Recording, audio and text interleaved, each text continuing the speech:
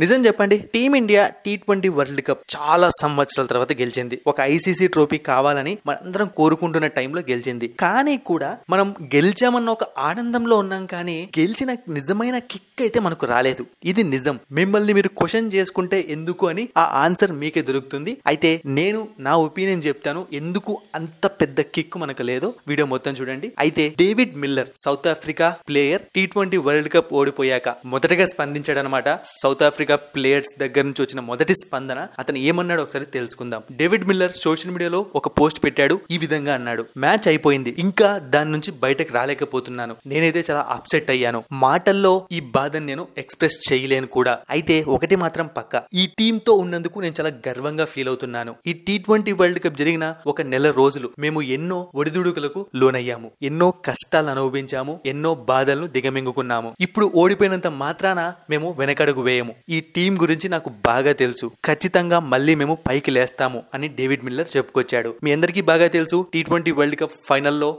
Final ఓవర్లో first ball David Miller catch అందుకున్నాడు సూర్యకుమార్ యాదవ్. అదొక అన్బిలీవబుల్ క్యాచ్. ఒకవేళ ఆ క్యాచ్ సిక్స్ అయి ఉండి ఉంటే డేవిడ్ మిల్లర్ మ్యాచ్ను వదిలిపెట్టేవాడు కాదు. సో ఆ విధంగా టీమిండియా గెలిచింది. అయితే ఎందుకు మనకు అంత కిక్ లేదు? నిజమైన మ్యాటర్కి వద్దాం.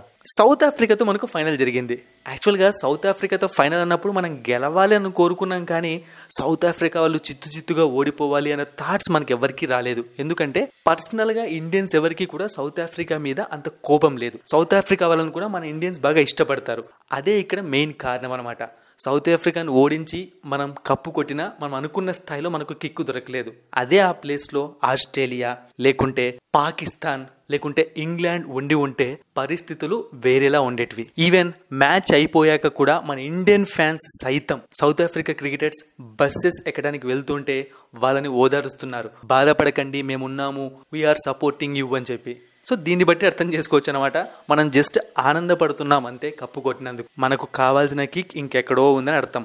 మరిన్ని ఇంట్రెస్టింగ్ వీడియోస్ కోసం సబ్స్క్రైబ్ చేయడం మర్చిపోకండి.